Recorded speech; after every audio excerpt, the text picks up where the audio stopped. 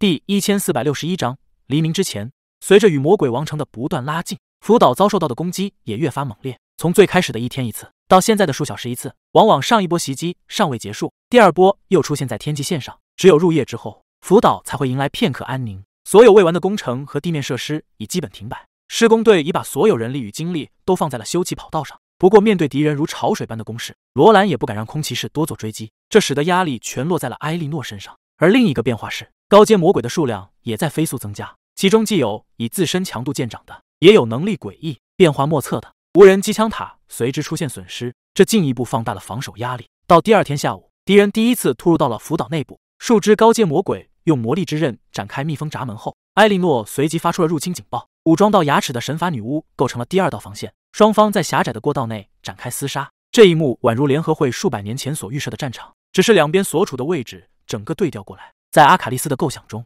神法女巫是刺入魔鬼阵地的矛尖，是摧毁方尖碑和母体的关键。只有摧枯拉朽击破抵挡的敌人，人类才有获胜的希望。而在辅导中，魔鬼却变成了进攻的一方，神法女巫只需要挡住他们前进的步伐即可。不过，他们的实力标准并没有因此而降低。从某种意义上来说，神法女巫本就是针对高阶敌人培育出来的克星，被封禁能力的魔鬼，在一群类似超凡者且不惧疼痛的古女巫前，很难占到任何便宜。何况他们手中还握着枪，因此尽管数量上处于绝对劣势，但他们依旧将敌人阻拦在核心区之外。与此同时，地面也出现了魔鬼部队的踪迹，其中大部分是蜘蛛型机兽，先是零零散散几个，如今已集成了一小片小片的黑色水洼，简直就像等待尸体的蚂蚁。艾格莎望着福岛下方的景象，低声喃喃道。如果我们坠落下去的话，他们一定会一拥而上，把所有人撕成碎片。更多的魔鬼还在路上，看来敌人是想包围我们。菲利斯的神情也颇为凝重。过去联合会想靠一支超凡部队彻底击溃魔鬼，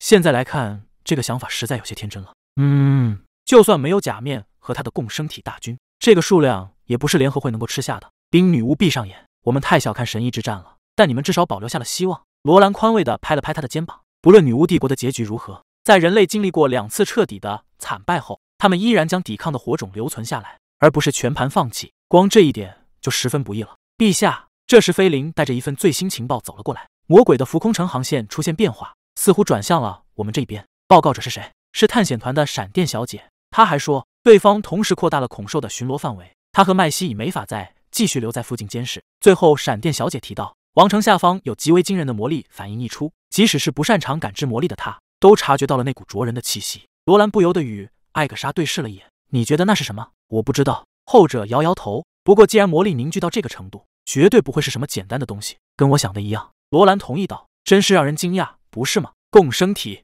高阶进化量产，神造之神。魔鬼这百年里涌现的新东西，还真可谓层出不穷。哪怕神域之战刚开始时，他们还在使用普通骨矛，这时已经换成了可爆炸的改进品。虽说不是每个狂魔都能拥有。即便所用的不是人类的火药，也必然是受到了相应的启发。过去人们常说战争是文明最好的催化剂，看来还真有几分道理。罗兰望向投影上方昏黄的天空，神明，这就是你希望看到的景象吗？毫无疑问，若是继续顶着攻击前进，他们没有任何胜算。此时的福岛宛如逆水行舟，而那汹涌的黑色水流便是成千上万的魔鬼。敌人数量再翻个几倍，岛内必然会出现大量伤亡。而且从魔鬼王城涌现出的强大魔力以及主动靠近的举动来看，他们应该还藏着不止一张决战的底牌。不过，他从一开始就没想过要和对方面对面拼个你死我活。地图上福岛的位置离标记的红线尽头还差那么一点，但既然魔鬼愿意主动缩短这段距离，他也可以省下点功夫。通知所有人去会议室集合。罗兰向菲林吩咐道：“是时候了。”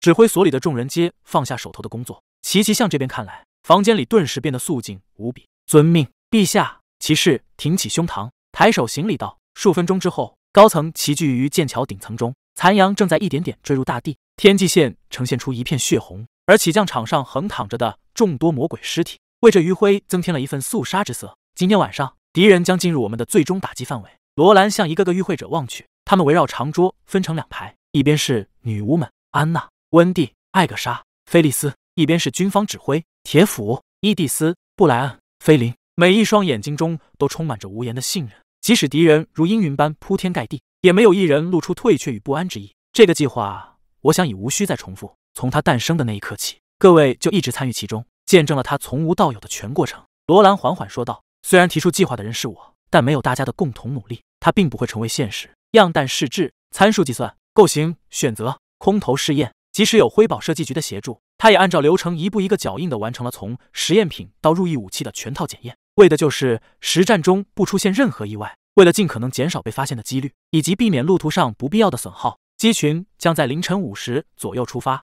夜航充满风险，但我相信提力能带领空骑士做到这一点。如果一切顺利，明日清晨时分，天边将会多出一个新的太阳。见会议室中无一人有异议，罗兰站起身道：“那么，我宣布太阳之辉计划正式启动。”他顿了顿。记住，最黑暗的时刻正是黎明之前。第一千四百六十二章，辗转而漫长的夜。凌晨十二零零，机库中灯火通明，所有的发光魔石都被聚集到此处。除了提供照明外，他们还有部分将被安装到飞机上，以补充光源的不足。这次行动，空骑士将倾巢而出，两百多架飞机不仅是吴东现今全部的空中力量，也是所有人类的希望。数百地勤人员推着小车奔波于库房之间，检查着每架飞机的状况，而带头者便是安娜。她扎起头发，脚踏筒靴，一袭工作装的模样给众人留下了极为深刻的印象，也让场中的气氛高涨如虹。罗兰亦不例外，对方那沾着些许油污的脸颊与蓝宝石般清澈的眼睛，深深的印刻在他的脑海之中。凌晨一三十，检查完毕的飞机开始进行加注燃油作业，所有排气扇满功率运转，以降低空气中的油气含量。由于对照明要求不高，同时为了减少火灾风险，这个步骤被安排在机库和地面起降场同时进行。其中，地上机群中最引人注目的，便是两架单翼四发轰炸机了。尽管在指标上缩水不少，但它的体型依旧足够壮观。超三十米的翼展以及漆黑的涂装，让它看上去鹤立鸡群。换装凤凰号的发动机，让它只能以底油飞行，不过换来的是可靠成熟的机体。正因为如此，工程部才能赶在计划实施前抢出两架来。当然，它引人注目的地方，并不只有在大这一点上。由第一军和神法女巫严密看管的机腹，同样表明着它的与众不同。虽然大部分人没见过那颗被寄予厚望的武器究竟长什么模样，但依然不妨碍他们明白，这两架轰炸机将是左右战局的关键。凌晨三零零，空骑士齐聚一堂，进行最后一轮路线回顾。记住，夜幕下没有任何可以为你指示方向的东西。天上的星星会迷惑你的视线，地上的亮光则是敌人的篝火。提利站在讲台上大声说道：“你们唯一可以相信的，只有前方飞机闪烁的尾灯。睁大眼睛，看清楚自己队友的方位。一旦离开福岛。”就再也没有回头的可能。如果一切顺利，我们将在破晓时分抵达指定区域。之后，两架轰炸机会先后投出炸弹。在这个过程中，你们的任务便是全力保住主攻手不受攻击，击落一切试图靠近的敌人，不管他是恐兽还是高阶魔鬼。听清楚了，由于两次投弹存在时间差以及炸弹的巨大威力，所以切记不可太过靠近目标。另外，不管结果如何，机群都必须立刻返航。罗兰陛下允许失败，但不允许把人类的有生力量。葬送在一场战役上，只要天空还属于我们，希望就不会断绝。去注写人类的新历史吧！此次行动，我与你们同在。遵命，殿下！所有人齐声呐喊道。凌晨三五十，老实说，我有点紧张。凤凰号的舷梯旁，罗兰看到提利的手正微微颤抖，这还是他第一次见到对方露出如此不镇定的神情。此时离预定起飞时间只剩半个小时，两百架舰载机放到另一个世界也是能撑起四五个攻击波次的大行动了，必须提前起飞，整列队形。才能保证之后的长距奔袭不至于掉队太多。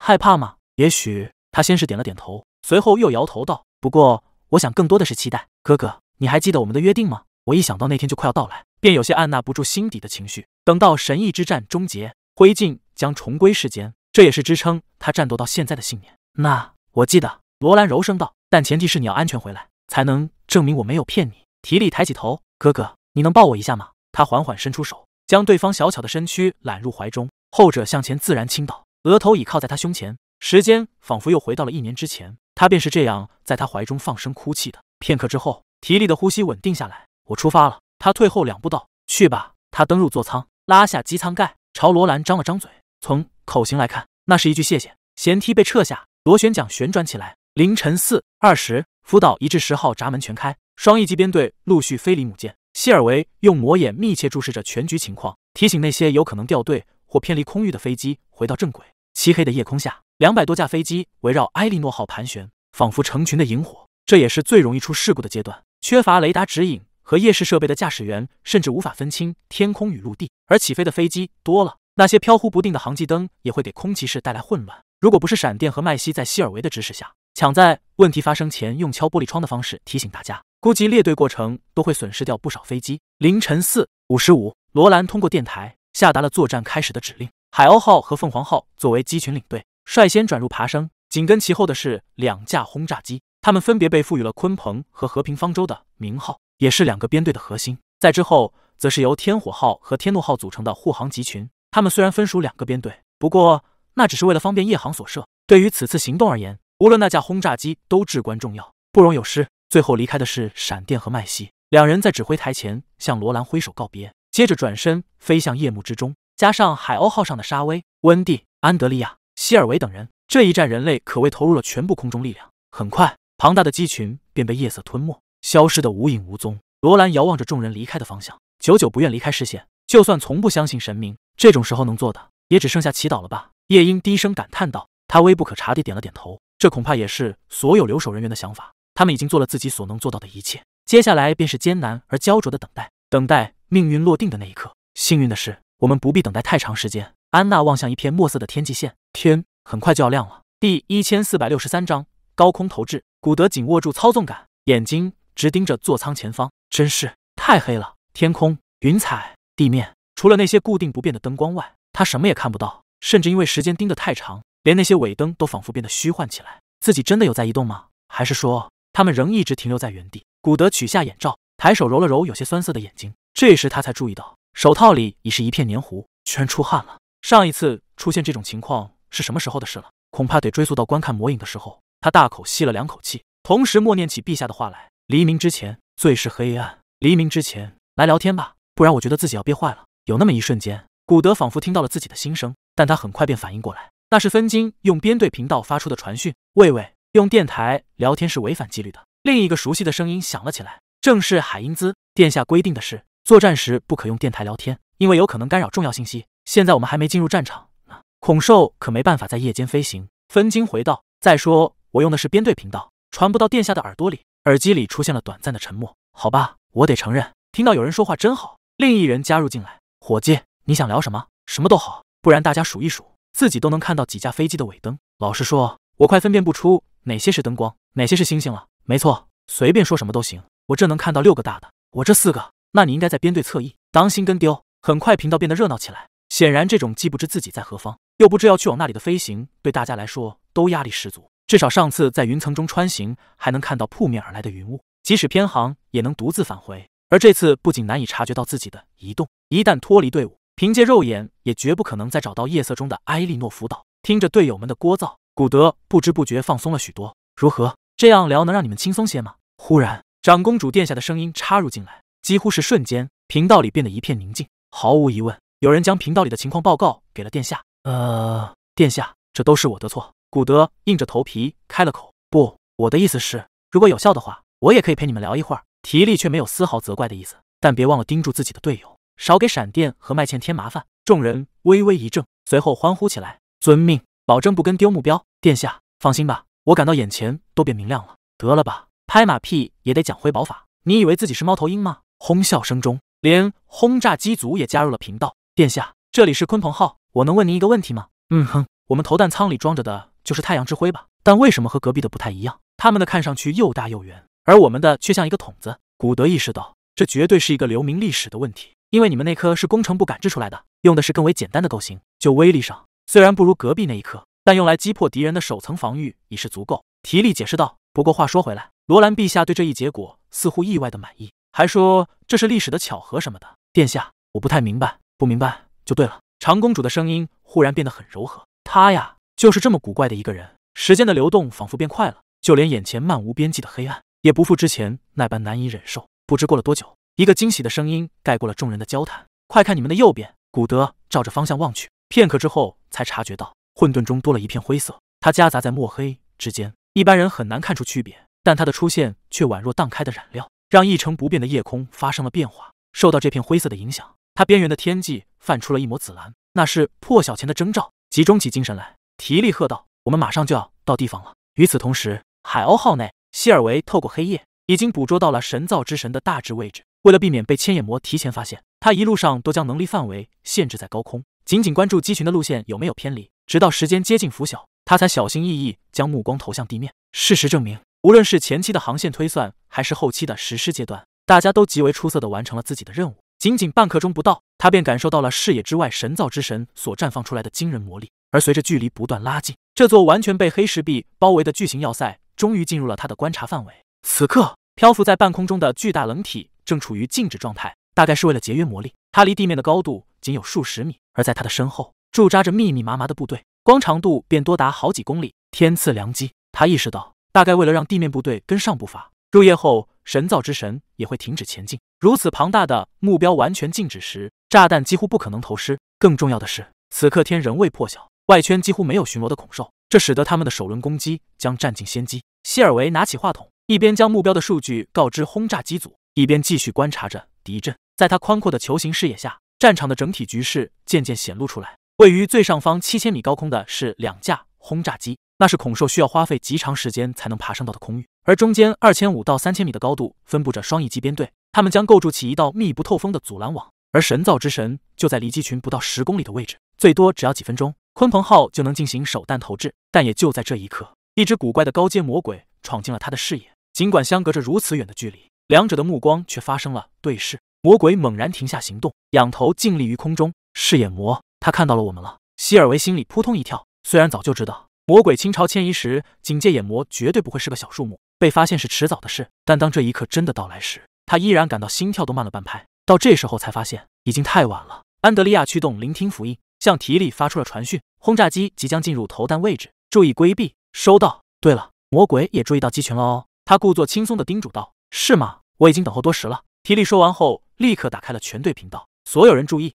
现在向右翼十度进行回转，做好迎接冲击准备。浩大的双翼机群顿时开始转向，而这时天边的灰色已逐渐向白转变，整个穹顶的色调依旧很深，但至少不再是伸手不见五指的漆黑，而是近乎黑色的深蓝。星辰越来越暗淡。机翼上的亮光则愈发明显起来。唯一没有转向的是鲲鹏号，它必须在投弹前始终保持平稳。和兼职俯冲轰炸的天怒号不同，鲲鹏和和平方舟从一开始就是专门为轰炸而设计的特种飞机，投弹瞄具之类的设备一应俱全。机舱还拥有加压功能，使得它的飞行高度远远大于一般的双翼机。虽说夜晚视线极差，下方还有稀薄的云层，不过在希尔维提供的精确数据下，观测变得不再那么重要。投弹手简单核算了下航线，便朝机长做出了可以投弹的手势。开舱，放。随着控制杆被拉起，机身下方传来了一声闷响，那是沉重的弹体与挂架分离的声音。当这颗重达四吨的庞然之物落下，轰炸机猛地向上一抬，摇晃两下后才恢复稳定。而炸弹此刻已化成一个不起眼的黑点，在重力的牵引下加速向神造之神坠去。第一千四百六十四章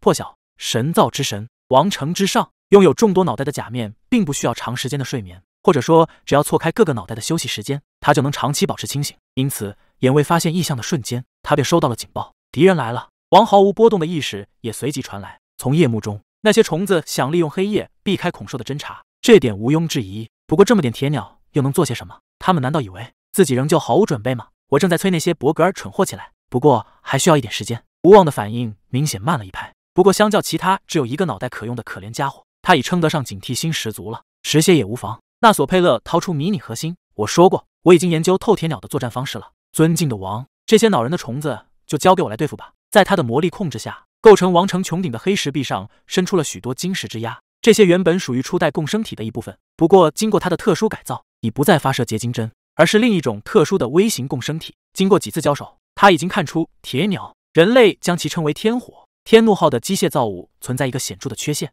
尽管他们的速度要比伯格尔异兽更快。但没法像后者那样灵活改变自己的方向，速度越快时越明显。其飞行轨迹呈现出一条圆滑的弧形，俯冲时甚至无法进行滚转。这意味着在某个特定的时间点，它们必然经过某个特定的位置。换而言之，只要提前决定好真体的碎裂高度，共生体命中铁鸟的几率便能大幅提升。当然，结晶针本身做不到这点。不过换个思路的话，把投射物变成能自主判断情况的共生体，一切就容易多了。这些针状物会在靠近铁鸟时自动炸开。变成一群能短暂浮游的共生体，一旦落到铁鸟身上，它们就会像寄生虫那样撕裂、啃噬目标脆弱的外壳。假面相信这套防御系统一定能给偷袭者留下一个深刻的印象。不过，透过眼位，人类接下来的反应让他颇感意外。只见机械铁鸟并没有趁恐兽尚未升空的空档向神造之神发起攻击，而是集体向南转向，好像是在刻意避开王城一般。这是什么意思？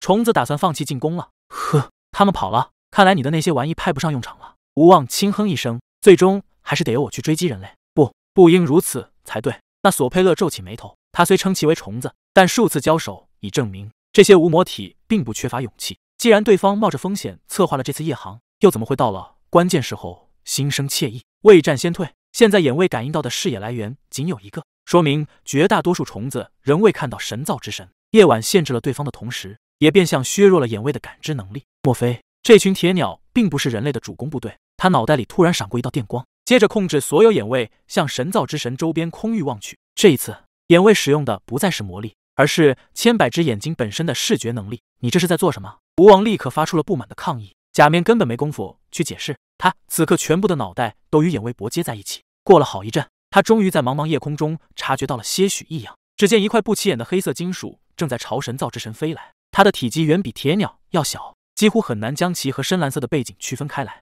这个桶状物立刻让假面联想到了之前天怒号所投掷的爆炸物。不过，人类大动干戈就为了这么一个玩意？即使如此。纳索佩勒依然向手下下达了启动魔力屏障的命令。也就在这时，天空中突然绽放出了一团极为明亮的火光，这也是他通过眼位所看到的最后一个景象。那道光芒仅仅持续了眨眼不到的时间，所有眼位便和他中断了连接，而留在他脑海中的是极为灼热的刺痛感与一片白茫。他忍不住低吼起来。然而，这并非结束。神造之神仿佛被什么东西猛地推了一把，内部的城市在轰鸣中剧烈震颤，穹顶发出尖锐的哀鸣，地面。也随之塌陷。纳索佩勒只感到脚下一沉，身子宛若飘了起来。提利没有看到爆炸的瞬间，尽管他事先准备好了黑色墨镜，但想要用肉眼捕捉到那颗从七千米高空扔下的爆炸装置，实在是件渺茫的事情。何况戴上墨镜会让原本就糟糕的视线变得漆黑一团。他尝试了几次后就放弃了这个打算。因此，当世界被点亮时，提利才意识到发生了什么。当时他正背对着神造之神，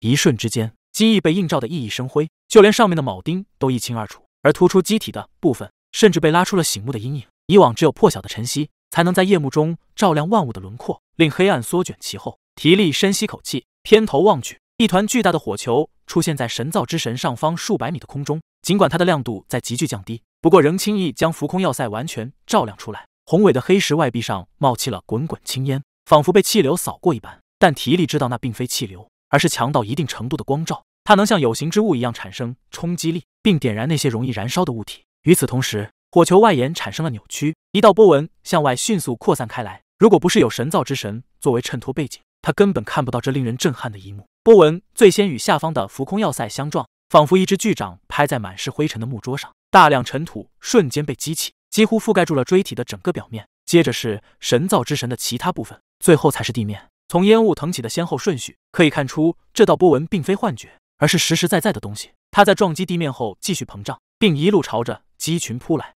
准备冲击。提利拿起电台话筒，大吼道：“轰！”震天撼地的爆炸声也在这时传到了他的耳边。寂静的夜终于被打破，伴随着滚滚轰鸣，飞机发生了猛烈的颤抖，同时在气浪的影响下，机身像失控了一般向下跌落，数秒之后才重新稳住姿态。这声巨响犹如开天辟地的钟鸣，宣告着黎明的到来。一缕晨光越过山脊，投射在大地之上。而火球此刻已变成一团黄褐色的烟柱，它的根部深深扎入神造之神内，顶部仍在不断上升，与片片云层结合在一起。提利再一次下达了转向指令。等到机群飞至东面时，他总算看清了笼罩在烟尘之下的神造之神。从总体上来说，它几乎没有受到太多影响。比起下方东倒西歪的树木，它依旧稳稳地悬停在半空中。但之前的爆炸并非毫发无伤，在晨雾中若隐若现的黑曜石金字塔顶上部分出现了一个巨大的豁口。第一千四百六十五章。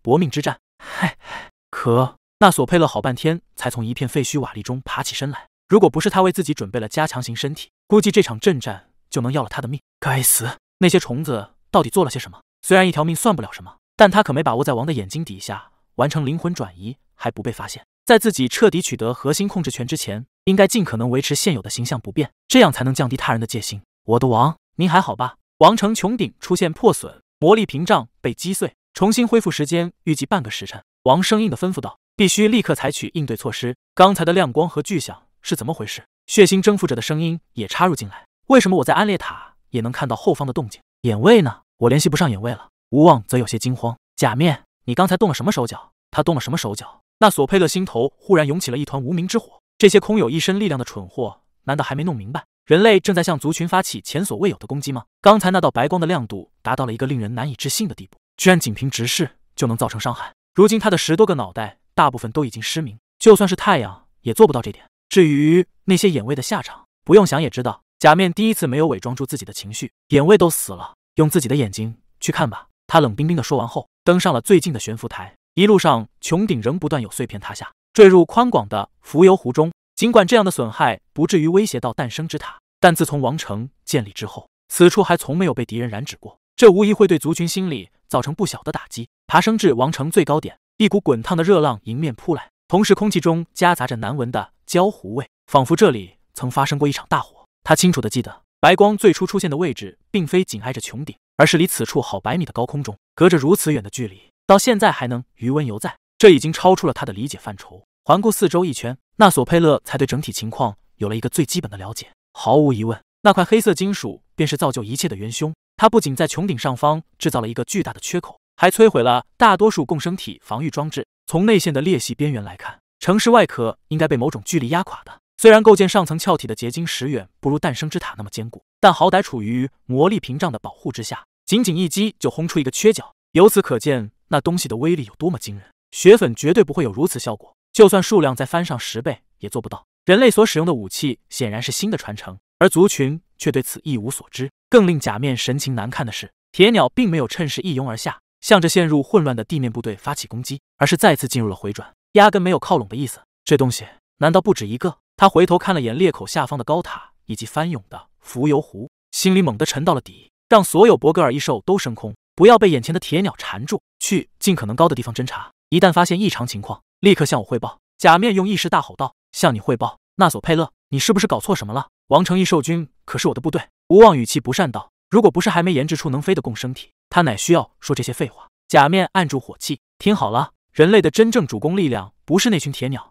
而是别的东西。他回想了下之前的情景，那东西应该飞得很高，而携带的武器则会从高空坠下，并在特定高度爆炸。因为威力极大，所以铁鸟才会一直徘徊在外围。他们的目的不是攻击神造之神。而是为了保护主攻者，你必须赶紧找到他，然后消灭他，否则我们就完了。完？你是说被人类？无望愣住，快去截下那支部队，这点只有你能做到。假面接着将意识转向族群核心，王，请让我转移神造之神，我们不能再待在原地不动了，这样下去只会被人类当成靶子。他原以为还要花费一番唇舌才能说服王主动躲避人类，没想到王很快给出了指示：王城的控制暂时由你负责，务必消灭入侵者。这就是脱离了自我情绪，完全基于理性的推断吗？假面朝诞生之塔低下了头，遵命，我的王。自从王和核心仪器融合后，倒是越来越对他的胃口了。说不定再过上百年，对方就能真正明白他的理念。可惜了，如果不是主宰圣座太过可怕，他说不定不会做的那么彻底。假面高举起迷你核心，将魔力悉数灌入其中。神造之神发出一声轰响，接着毫无征兆的升起，同时朝天空扩散的烟柱下方飞去。在全权接管的情况下。他不必再通知手下，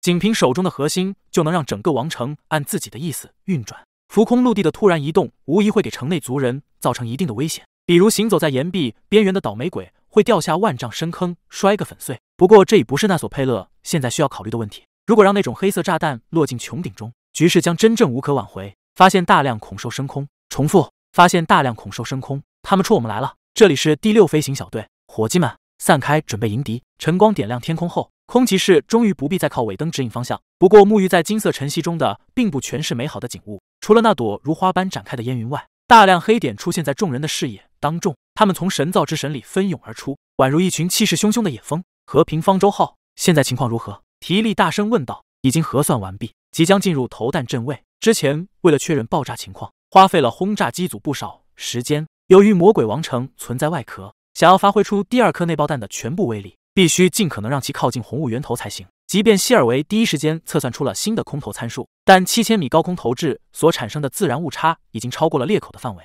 因此方舟机组主动降低了一千五百米高度，以确保能让炸弹飞入城中。方舟号准备投掷，各机组做好防冲击准备。数十秒后，电台里再次传来了汇报声。等等，这时希尔维突然打断道：“神造之神开始移动了。”第一千四百六十六章乱局。和平方舟号上已经握紧闸门杆。正准备向上拉起的鹰面，又将手收了回来。方向呢？向东九度。他们正朝着烟柱前进。教官，接下来要怎么办？主驾驶回头问道。以神造之神的体积，即便移动起来，也无法避开来自空中的轰炸。何况魔力屏障已经失效，第二发太阳之辉只要落在黑石金字塔附近，都有不小的几率摧毁方尖碑。而且对于机组来说，这亦是最安全的一种做法。但他并不是为了安全才登上这架飞机的。两架轰炸机的驾驶者都是从优秀学员中挑取，唯独机长由教官来担任，目的再明显不过。前者是开好飞机的关键，而他们则是完成作战的保证。不小的成功率意味着也有概率失败，而他要的是抛开听天由命的部分，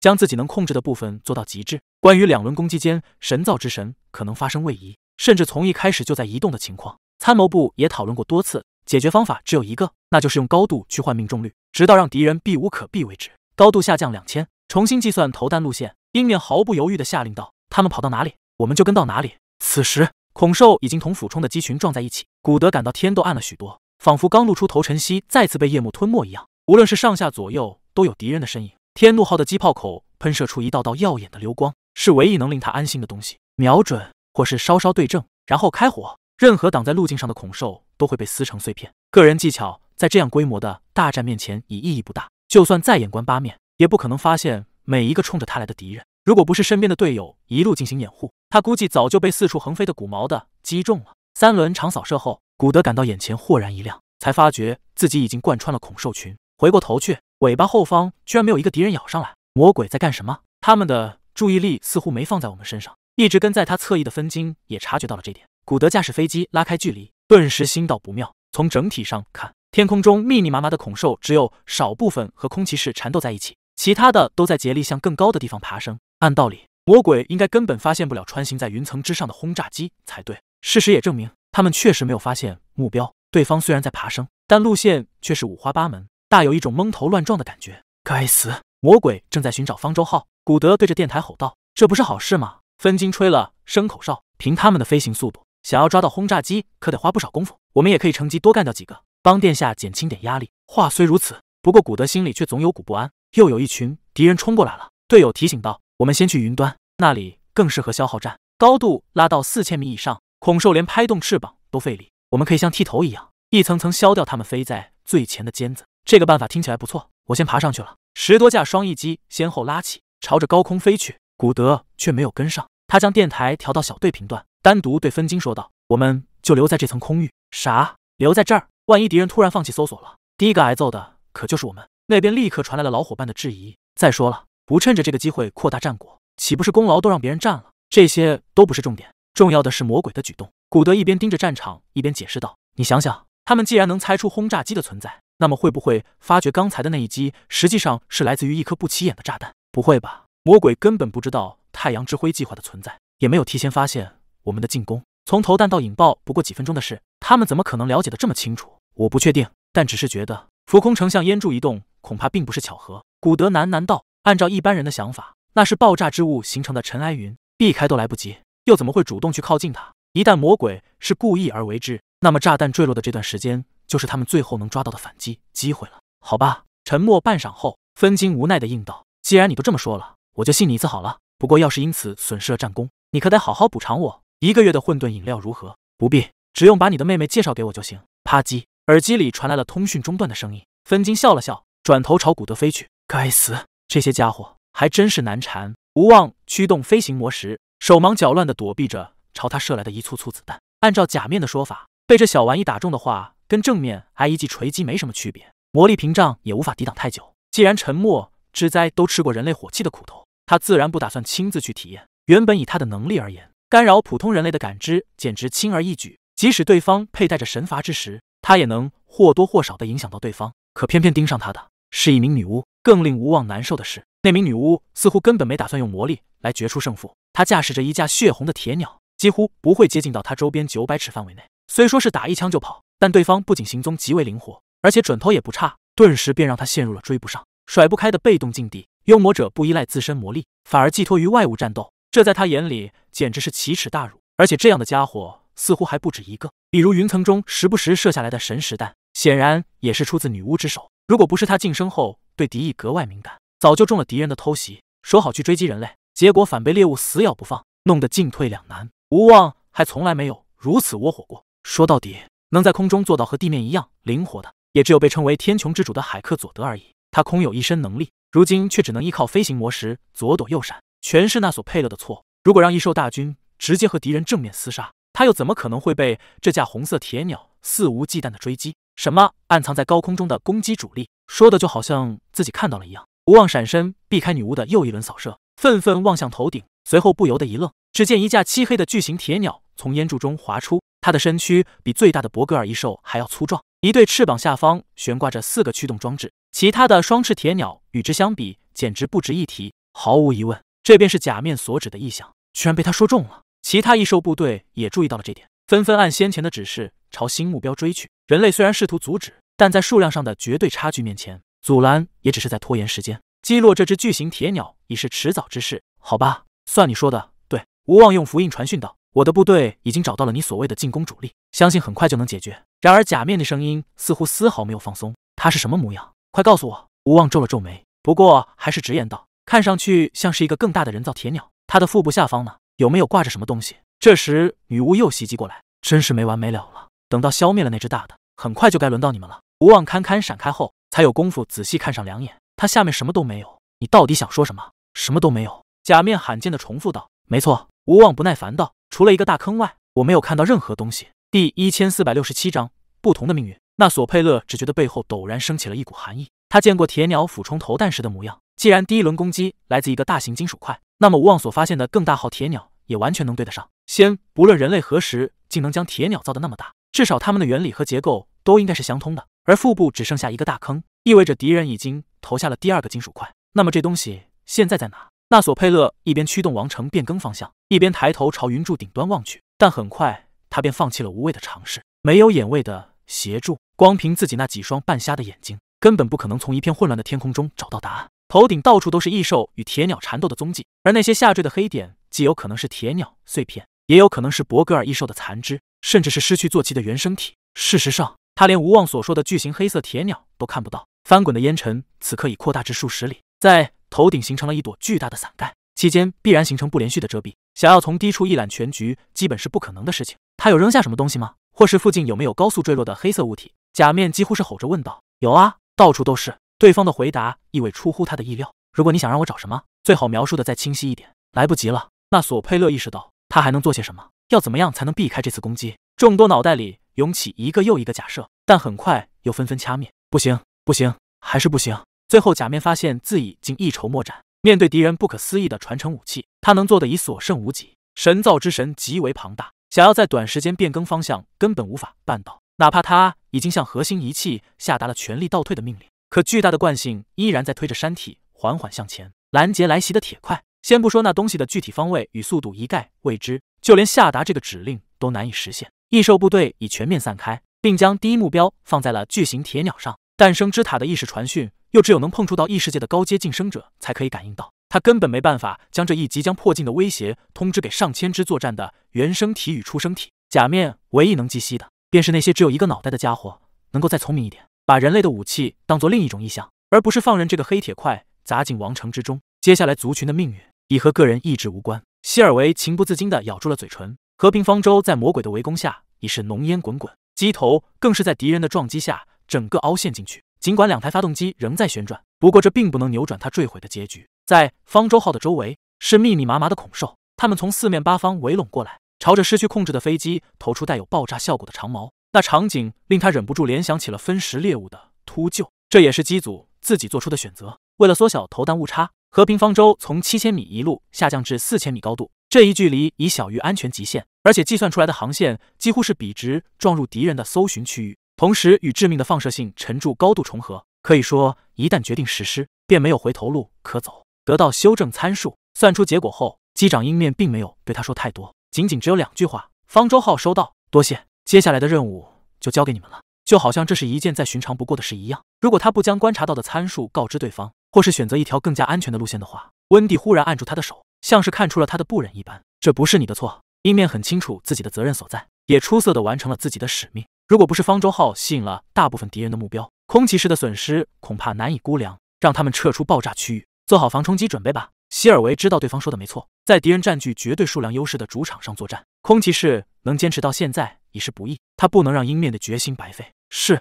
他深吸一口气，重新振作起精神，将消息通过符印和电台一同传递出去。接到指示的机群纷纷转向，利用速度优势脱离战场。也就在这时，希尔维看到了不可思议的一幕，并不是所有空骑士都在向远处撤离，有三架天怒号不仅没有离开的意思，反而向着魔鬼王城飞去。喂，你知道自己在做什么吗？耳机里分金嚷嚷的声音几乎没有消停过。这可不是在演习，我当然知道。古德同样吼道。说话间，他以一段干净利落的长点射干掉了一只迎头冲来的恐兽。如果大家都往外飞的话，敌人肯定会注意到方舟号投掷的炸弹。虽然改变它的轨迹没那么容易，但天知道最后会发生什么。不信你看那家伙，他显然跟我想的一样。古德之所以坚持留在最初的迎击空域，正是担心魔鬼有可能会注意到高空投掷的炸弹，并阻止他落入神造之神中。第二颗内爆弹重达四吨，内置神罚之时，无论是头毛还是魔石能力，都很难伤到其分毫。但问题在于，它只有在浮空城的核心区域起爆，才能达到最佳效果。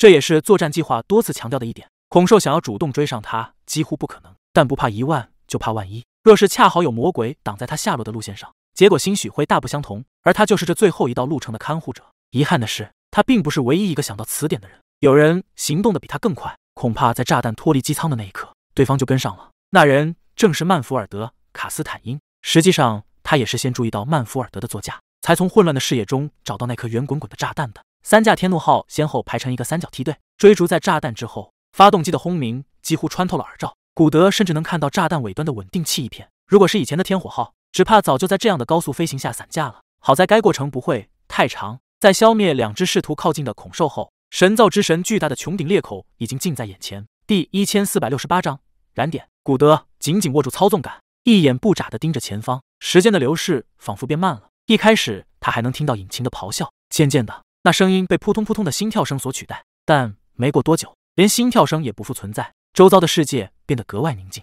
炸弹正一点点远离天怒号，而穹顶上层的裂口也越来越大，几乎占据了大半个视野。至此，已经有许多魔鬼注意到了他们。不过在凝固的时间中，对方连掉头的动作都慢如蜗牛。他脑海中不禁浮现出了启程前任务确认会议上的情景：殿下，轰炸机组投掷的炸弹真有那么大的威力吗？如果我飞得够快。应该就能把冲击甩在背后吧？问这话的人正是分金。无论何时，他那不着调的言论总是能引起大家的哄笑。老实说，他有时候挺羡慕这家伙的。除非你飞得比光还快。长公主毫不留情地将这一想法驳斥了回去。它爆炸时产生的强光能直接把你烤熟，等你看到时再想跑，只怕为时已晚。即便侥幸躲过光照，接下来的冲击波也会在短时间内超过音速。所以，唯一安全的躲避方式就是离它足够远。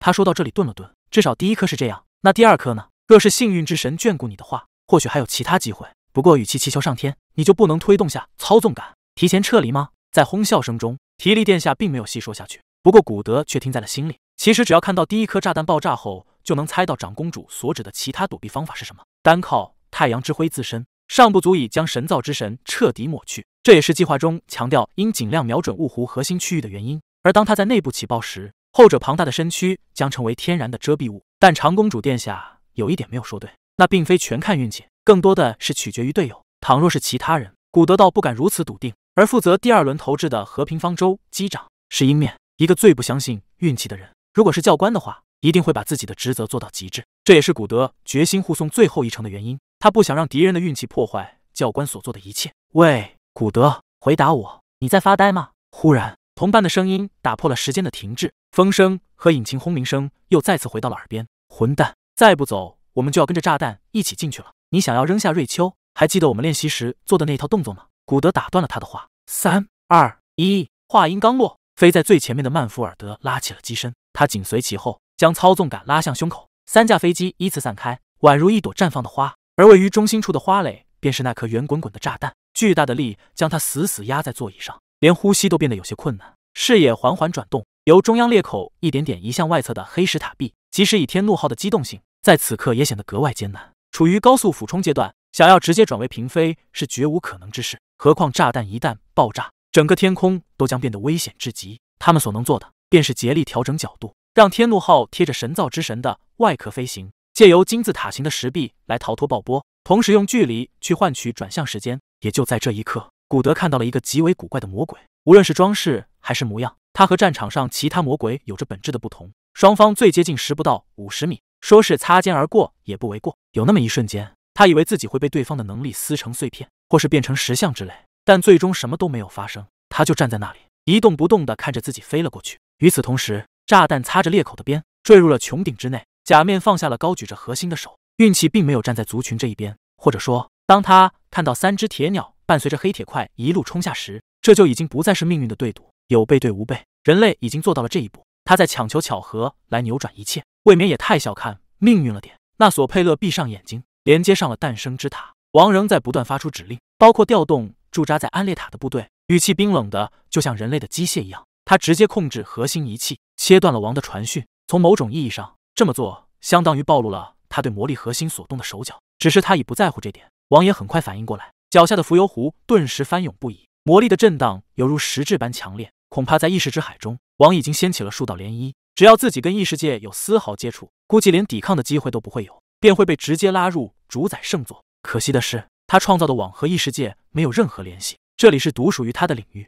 假面索性把能感知魔力的脑袋一并屏蔽，整个世界随之安静下来。此时此刻，他便是诞生之塔本身，而这也是最适合感受人类新传承的位置。看到金属块的瞬间，纳索佩勒向着天空张开了所有手臂，来吧，让我好好看看知识的力量。他没能说出后半句话，耀眼的光芒吞没了他。随着一声闷雷般的巨响，古德惊讶地看到身后的黑石金字塔猛地膨胀了一圈，就好像那外壳不是石头，而是某种柔软的液体一般。强烈的冲击在岩壁上折出了一道明显的波纹。当它扩散至顶点时，烈焰夹带着大量烟尘从裂口处喷涌而出，瞬间超过了第一次爆炸时所产生的沉柱。金字塔的上层也彻底瓦解，几乎三分之一的石块被一起送上了天空。如果再慢上一点，这一次爆炸。足以将它一起淹没，但这仅仅只是开始。很快，喷出的烈焰变成了另一个颜色，那色则简直同鲜血一样。它的喷发规模很快超过了烟柱，并将半边天空染成了猩红色。古德注意到，那并不是什么红雾，而是粘稠的流火。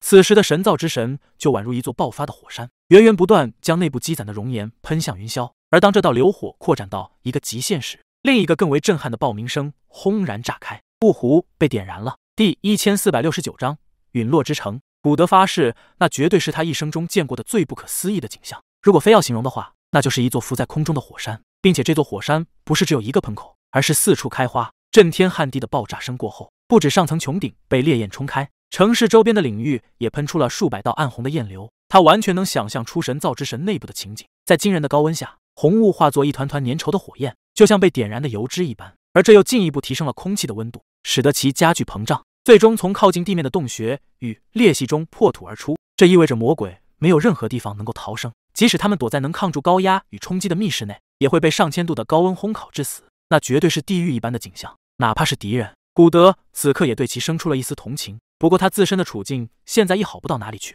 神造之神从中央到边缘这短短数十公里的距离，完全称得上危机四伏，连锁反应丝毫没有终止的迹象。那些动辄数十米高的焰流，就像一把把利刃。只要撞上，必定机毁人亡。如果这还算他能用技巧化解的事情，那么从天空落下的火雨，则根本不是他能掌控的事情了。最初，随着爆炸喷射出去的碎屑，如今已进入下落阶段。它们要么是半熔状态的石块，要么就是燃烧的胶状物。古德只要抬起头，就能看到头顶那密密麻麻的火点。它们看上去遮天蔽日，连晨曦的光芒都被压了过去。见鬼！你看到天上的玩意了吗？分金在另一头嚷嚷道：“废话，我又不是瞎子。他的范围也太夸张了点。”这点时间根本来不及飞出去。要是等它落下来，我觉得我们怎么跑都难逃一劫。不，兹，还有一个地方，兹已避开。此时频道里忽然多了一个声音，显然那正是抢在他们前面的曼福尔德。大概由于散开的方向不同，彼此间有障碍物阻隔，他的通讯显得有些模糊不清。同意，但前提是我们能及时赶到。古德回道：“等等，你们不是认真的吧？”分金很快反应过来，这东西马上就要坠毁了，你们还想拿它避难？他知道同伴说的没错。事实上，当第二次爆炸发生后，古德心里就已经清楚，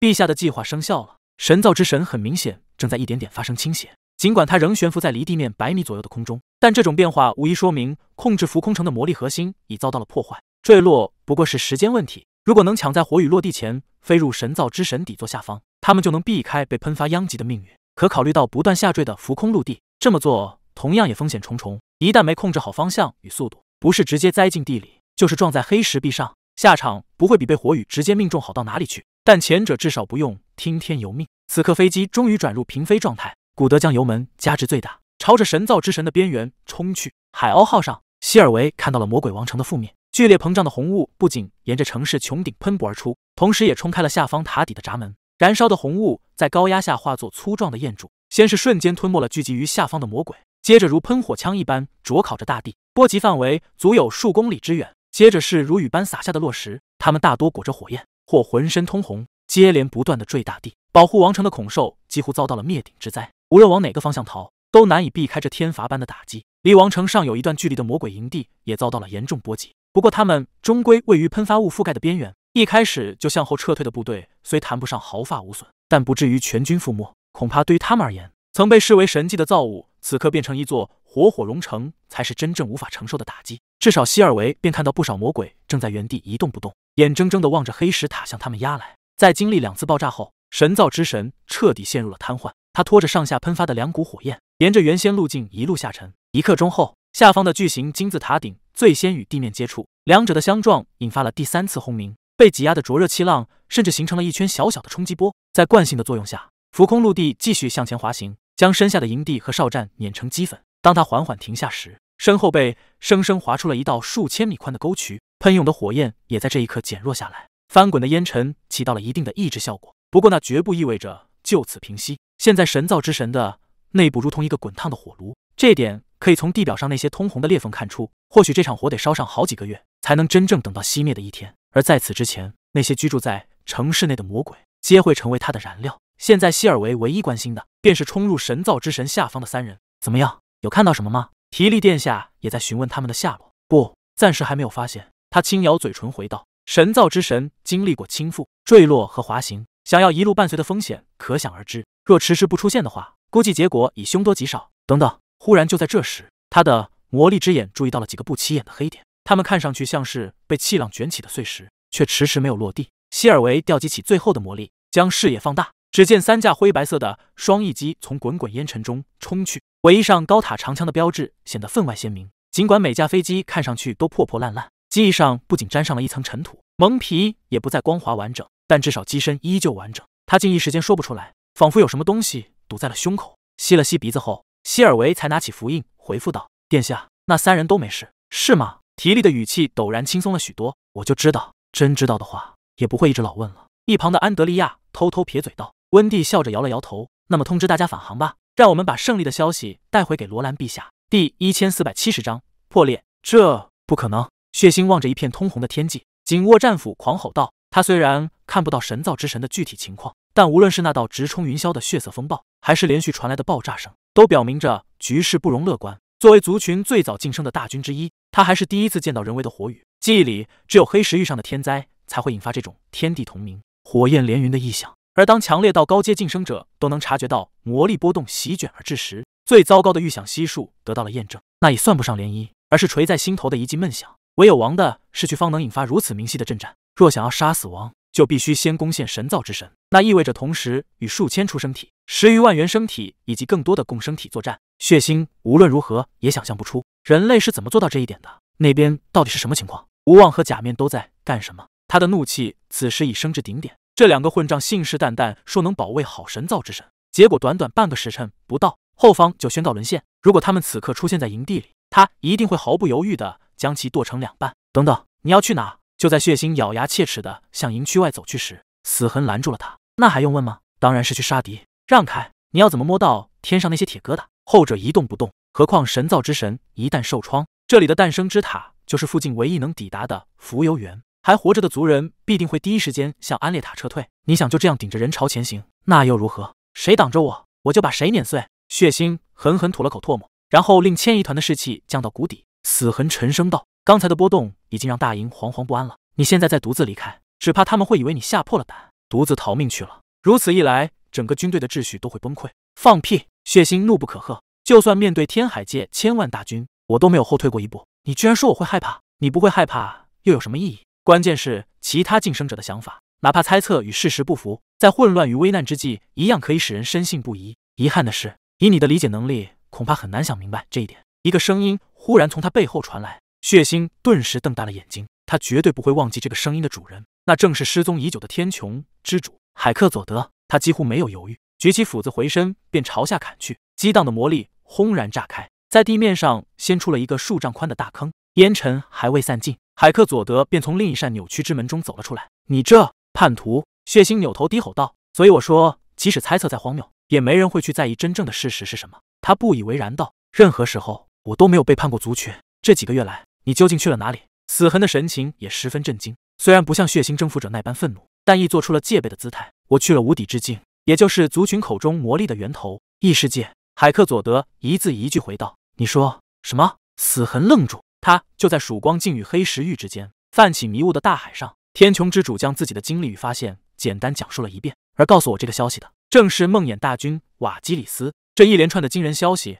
让两名大军目瞪口呆，也让其他听到动静而围拢过来的族人发出了窃窃私语。片刻之后，血腥才反应过来，所以你和他一起背叛了王。这场袭击也是你们勾结人类的成果。我知道你无法理解，正如被愤怒冲昏头脑后，执意要去向人类复仇，却将族群的利益抛之脑后一样。海克佐德转头望向死痕，但你和血腥不同，应该明白。这些线索背后的意义。另外，我虽然和人类有过接触，却并没有参与到他们的袭击计划当中。勾结的说法完全是无稽之谈。死痕沉默半晌后，才开口道：“确实，我不是血腥，因此语言上的把戏对我来说没有意义。不可否认的是，你的离开变相削弱了王城的防御能力。就算没有参与，也不能说这场袭击跟你无关。做事不管这种行径，本身就是在帮助人类。不用废话了。”血腥吼道：“你用能力控制住他。”我要亲手把它撕成碎片，但死痕并没有行动。我想问的是，即使做到这一步，你也依然认为自己仍是为了族群吗？我认为的东西没有意义。海克佐德平静地回道：“事实便是，人类掌握的传承大大超出了我们的预期，彻底击溃他们已无可能。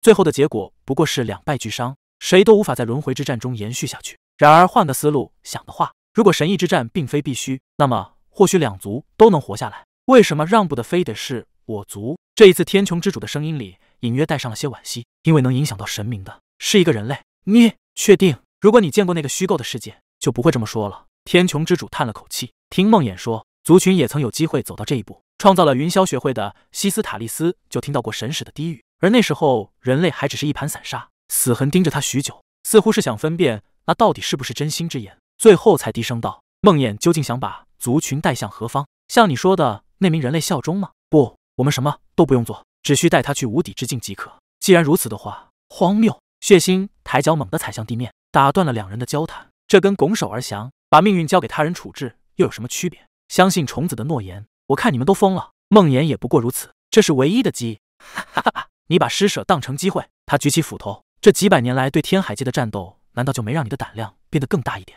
哦，我忘了，你确实没有。毕竟躲在后方，又怎么可能遇见真正的强敌？海克佐德的脸色沉了下来。我生来就是为了鲜血与厮杀，而所谓的命运也只能被我自己掌控。血腥咆哮道：“向敌人放下武器，然后祈求他们的善意。不，我血腥征服者宁可战死，也不会向任何人投降。虽然知道结果会是这样，但我还是想尽力避免。来着。”海克佐德抬手打了个响指，一扇新的扭曲之门于他背后缓缓张开。从门中走出的是面无表情的沉默之灾。天空中涌起了滚滚乌云。